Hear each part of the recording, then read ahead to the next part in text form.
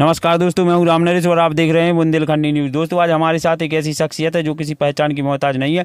हमारे साथ है निवाड़ी जिला पंचायत अध्यक्ष प्रतिनिधि और जिला पंचायत सदस्य अमित राय जी। दोस्तों, आज इन्होंने श्री कृष्ण जन्माष्टमी के अवसर पर अपने यहाँ पर एक प्रतिभोज कार्यक्रम रखा था, जिसमें क्षेत्र के बहुत गणमान्य लोग और नागरिक आए थे। सबसे पहले तो भैया, आपको श्री कृष्ण जन्माष्टमी की बहुत बहुत हार्दिक बधाई और शुभकामनाएँ। आपको भी बहुत बहुत शुभकामनाएँ आपके चैनल को भी भैया।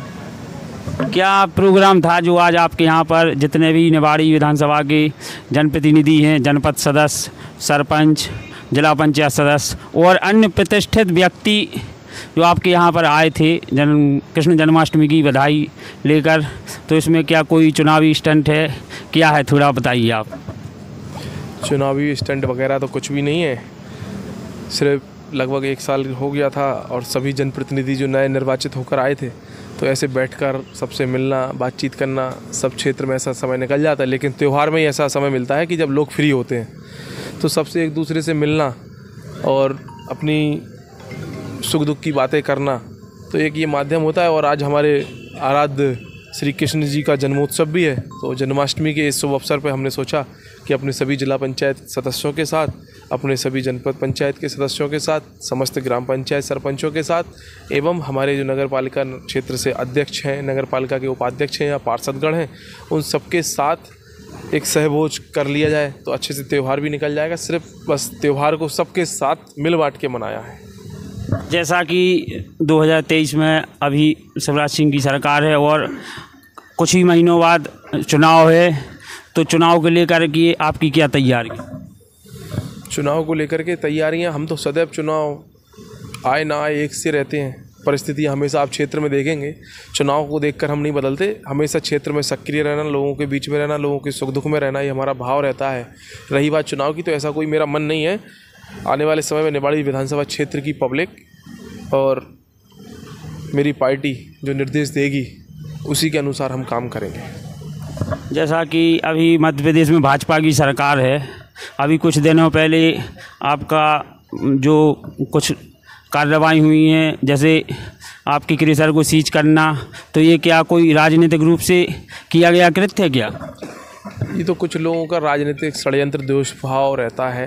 कहीं ना कहीं वो मेरे किन्हीं कार्यों से खुश नहीं रहते, इस कारण से ऐसी चीज़ें अगर वो उन्हें करने में खुशी मिलती है तो वो ऐसे कार्य आगे भी करते रहे, मेरी उनको शुभकामनाएँ है, लेकिन इनसे मुझे फ़र्क नहीं पड़ने वाला।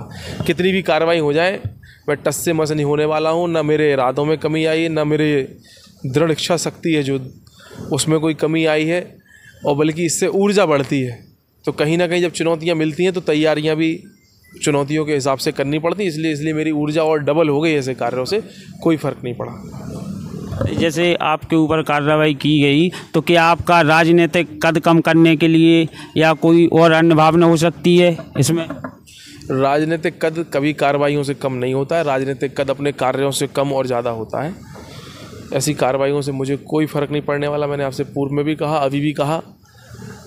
हम जिस क्षेत्र में आए हैं, पब्लिक की सेवा करने के लिए आए हैं, और पब्लिक की सेवा करने में हमें कितनी भी कुर्बानी चुकानी पड़ेगी, हम चुकाएँगे, पीछे नहीं हटेंगे। क्या कोई निवाड़ी विधानसभा में अभी केवल दो प्रत्याशी घोषित हुए? एक तो समाजवादी पार्टी से दीप नारायण यादव और बीएसपी से अवधेश प्रताप सिंह राठौर। अब क्या और कोई बड़ा धमाका होने वाला है निवाड़ी विधानसभा में? अब ऐसा तो अभी समय आने पर चीज़ें धीमे धीमे पब्लिक के सामने आएँगी। सभी राजनीतिक दल अपने अपने प्रत्याशी मैदान में उतारते हैं। समाजवादी पार्टी बहुजन समाज पार्टी के प्रत्याशी आए हैं। अब कांग्रेस और भारतीय जनता पार्टी भी अपने प्रत्याशियों को मैदान में लाएगी। धमाका उसके बाद होगा जब प्रत्याशियों का चयन होगा। अभी तो सब चीज़ें सुचारू रूप से चल रही हैं। सब लोग अपनी अपनी तैयारियों में लगे हैं। आप निवाड़ी में एक युवा चेहरा है और युवाओं का आपको काफ़ी सपोर्ट है।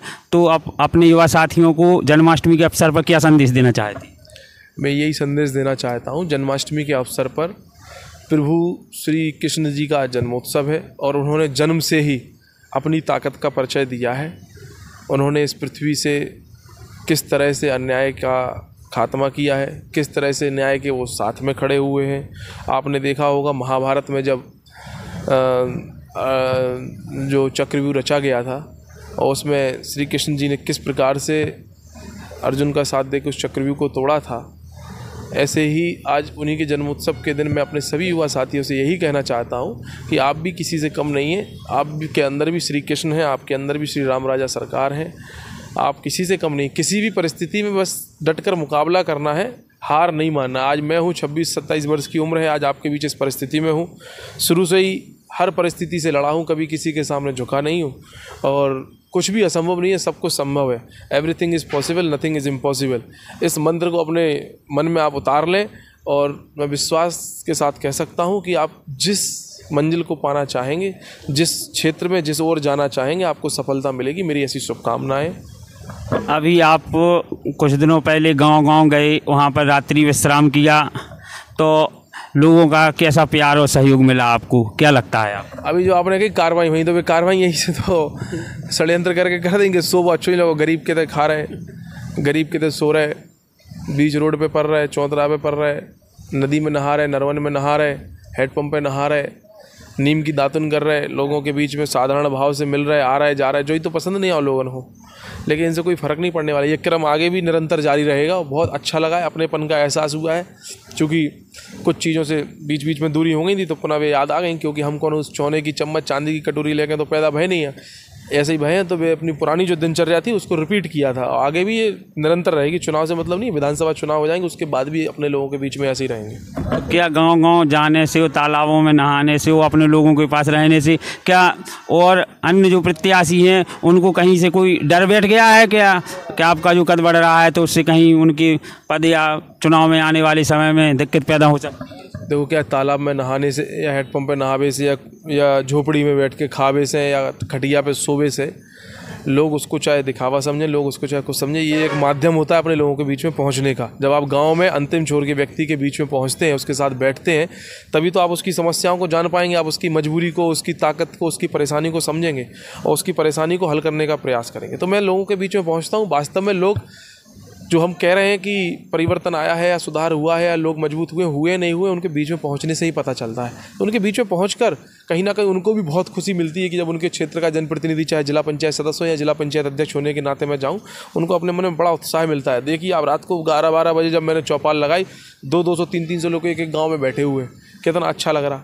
तो ये कई सारे माध्यम रहते हैं। अब लोग परेशान हो, दावेदार परेशान हो, कौन परेशान हो, मुझे किसी से कोई परेशानी नहीं है। मैं अपना काम करता रहता हूँ। हाथी अपनी चाल मस्ती के साथ चलता रहता है और लोग अपनी प्रतिक्रियाएँ किस प्रकार से व्यक्त करते हैं आप समझ सकते हैं।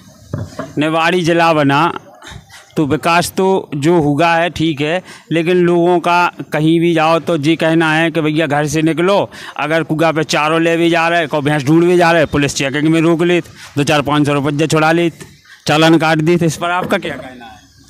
देखिए चेकिंग आपने जो कहा है, बहुत शिकायतें आती हैं चेकिंग की। हम भी कई सारे लोगों की मदद करते हैं और समझाइश अपने लोगों को भी देते हैं, युवाओं को भी समझाइश देते हैं कि हेलमेट लगा के चलें, सारे गाड़ी के कागज़ खुद लेकर चलें। पुलिस का काम है चेकिंग करना।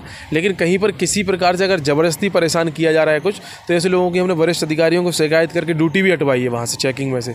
सुधार भी किया है और आने वाले समय में और भी सुधार करेंगे। चेकिंग एक माध्यम अच्छा है, क्योंकि सड़क दुर्घटनाएँ भी होती हैं, कई सारी परेशानियाँ भी आती हैं। हम हेलमेट नहीं लगाते एक्सीडेंट होता है तो कहीं ना कहीं हेड इंजरी की वजह से हमारी जान चली जाती है। कई सारी चीज़ तो चेकिंग अच्छा माध्यम है होना भी चाहिए। लेकिन चेकिंग को व्यापार ना बनाए और ना बनने दें इसके लिए हम कटिबद्ध हम प्रयास करेंगे। जहाँ शिकायत मिलती है तो हम कार्रवाई भी कराते हैं। अभी आप निवाड़ी की जनता को कुछ संदेश देना चाहती हैं?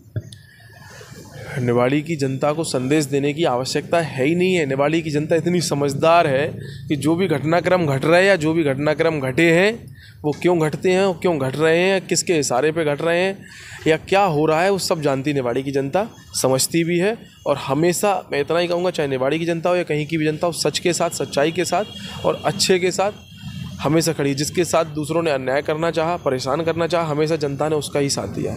जनता ने कभी अन्याय करने वाले का, कभी ताकत का प्रदर्शन करने वाले का, कभी अगर हमें ताकत किसी ने दी है तो उसका दुरुपयोग करने वाले का साथ कभी पब्लिक ने नहीं दिया। है और मैं निवाड़ी की जनता से हमेशा खुश रहा हूँ और उन्हीं के आशीर्वाद के कारण आज इस भूमिका में इसलिए सदैव उनका आजीवन धन्यवाद ज्ञापित करता हूँ और करता रहूँगा। अभी आपका एक कार्यक्रम था इसमें लगभग कितने प्रतिशत या माने मतलब विधानसभा से जो जनप्रतिनिधि आए थे लगभग मतलब कितने आए कितने नहीं आए? हमारी जिला पंचायत के तो लगभग सभी सदस्य थे। एक दो लोग बाहर हैं कोई कोटा है तो कोई भोपाल है। पूरी जिला पंचायत थी। सभी जनपद पंचायत के भी लगभग लगभग सदस्य थे। पार्षदगढ़ भी तीनों नगर परिषदों से थे। उपाध्यक्ष जी भी आए। सब लोग आए। तमाम हमारे अस्सी से पचासी परसेंट सरपंच आए। सत्तर परसेंट पूर्व सरपंच आए। हमने पूर्व सरपंच, पूर्व पार्षद, पूर्व जिला पंचायत सदस्य और पूर्व जनपद सदस्यों को भी बुलाया और सब आए। अच्छा लगा सबसे मिल क्योंकि जो क्षेत्र के बीच में लोगों के बीच में रहते हैं जनता के बीच में रहते हैं उनको जनता की दुख दर्द का एहसास है और जब हम सब लोग बैठते हैं तो उसी पे चर्चा करते हैं। पब्लिक का हित कैसे हो सके उस दिशा में काम करने का प्रयास करते हैं। अगर आपको भाजपा से टिकट मिलता है तो आप जनता के बीच में क्या मुद्दे लेके जाएँगे?